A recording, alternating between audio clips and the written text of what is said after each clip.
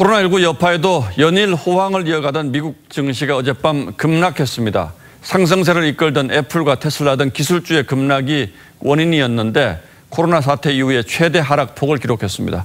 그동안 너무 많이 올라서 수익을 실현하느라 그랬는지 아니면 상승장이 이제 끝났다는 신호인지 미국 내에서도 전망이 엇갈리고 있습니다. 이태형 기자가 보도합니다.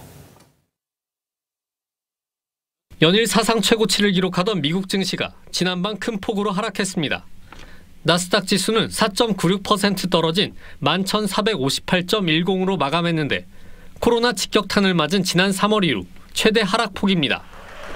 S&P 500 지수와 다우존스 등도 모두 급락했습니다. 기술주 폭락이 결정적이었습니다. 코로나 위기 속에서도 주가가 올 들어 500% 치솟은 테슬라는 9%나 떨어졌고 언택트 최고 수혜주인 애플도 8% 폭락했습니다. And typically, when that rubber band continues to be stretched, there's a point at which it comes back, and that's exactly what we had in the latest session.